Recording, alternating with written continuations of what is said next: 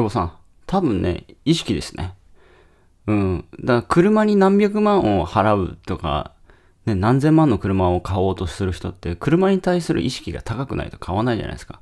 別に乗れればいいよっていう意識の人が、フェラーリ買わないし、どうすかうん、あんま買わないですよね。でも乗れればいいよっていう人は、何でもいいわけなんで、別にその意識は高くないわけじゃないですか。うん。だから車好きっていうのは、まあ言葉を変えるならば、車に意識が高いっていう話ですよね。うん。僕はその料理に関しては意識が高くないんですよ。だか安いとこでいいんですよ。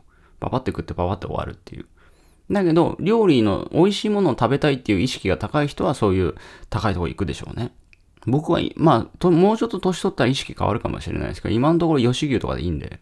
ただ、あの、そういうその、大衆民衆が行く安いとこで飯食うんだけども、やっぱりね、お客さんの質はあんま良くないですよね、見てると。うん。まあ僕もその一部なんですけど。うん。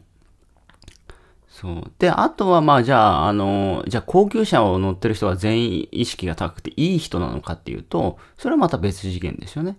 なんか煽り運転とか外車の人結構多い、多かったりするんで。確率としてね。うん。ただその車に対する意識ですよね。うん、そ、そこが高いから買うっていう。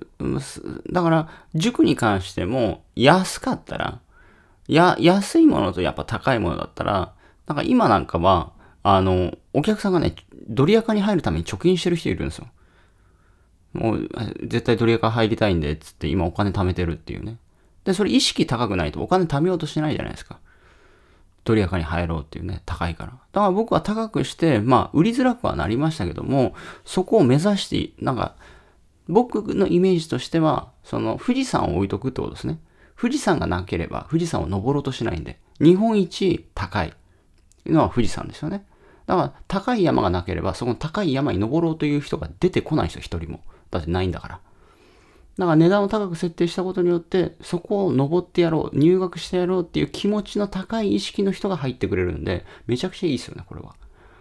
うん、だからまあ僕としては売上的には僕の売上としては、まあ微妙な部分はもちろんあります。一番売りやすい、売上が一番上がる価格帯はやっぱ30万なんで、30万が一番ベターですね。ただ30万でガンガン売ってた時は、やっぱ変な人も入ってきたんで、特に3万円とかのクラスだったら多分いっぱい、まあ、久保さんもいろいろね、まあ、久保さんはまあ無料動画で結構フィルタリングしてる部分ありますんで、あれかもしれないですけど、うん、やっぱね、30万円でも変な人いましたからね。うん、今はもういないですね、さすがに。ここまで上げて。うん。ある程度やっぱちゃんとやる人しか、あの、なんだ。まあ、やるっていうのは前提条件の人しかやっぱ入ってこないですよ。やっぱ価格が安いと、買って終わりだけども、やっぱ価格が高いと、やっぱもうやる前提ですよね。だから去年年末120万でドリアカ売った時に入ってくれた人いるんですけど、やってますから。うん。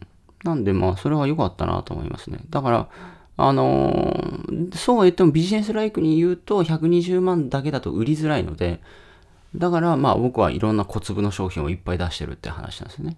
で、それでまあ、あのー合わせてる、帳尻合わせてるって感じですね。うん。まあ僕はそんな感じ、まあだからそれはそれでいいかなっていう。うん。だからその、あの、帳尻合わせる用商品を作ればいいだけなんで。僕、僕のビジネスライクで言うならば。うん。はい。ということで、意識、意識。車にしときましょうか。いってらっしゃい。